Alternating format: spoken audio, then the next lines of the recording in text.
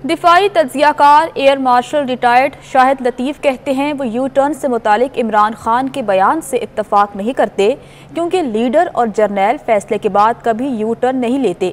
Leader वो होता है जो फैसले करके उस पर डट जाता है। शाहिद लतीफ़ ने कहा कि आप कौन होते हैं जर्नैल्स की तर्जुमानी करने वाले? सियासत करें, लेकिन जर्नैल्स और जजेस से मुतालिक बातों से गुरेज करें।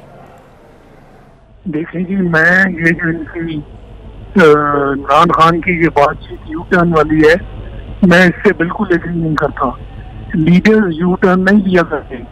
लीडर्स अपने फैसले मज़बूत करते हैं और मज़बूत फैसलों के बाद अपनी जगह पे खड़े होते हैं।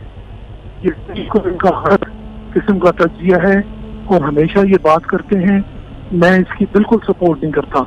और फिर आप कौन होते हैं? जनरल्स को बीच में अटेंड कर लेते हैं। आपको क्या मालूम है? कि जनरल्स की डिसीज़न मेकिंग कैसे होती? और डिसीज़न मेकिंग के बाद कोई यू टर्न नहीं होता जनरल्स का। उनकी ट्रेनिंग ऐसे नहीं होती कि आज कुछ कह दो, कल यू टर्न ले लो।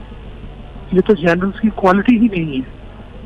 तो अब कभी जनरल्स के बिहाफ पे, कभी लीडर्स के बिहाफ पे इस तरह की बात करने से उन्हें गुरेज करना चाहिए।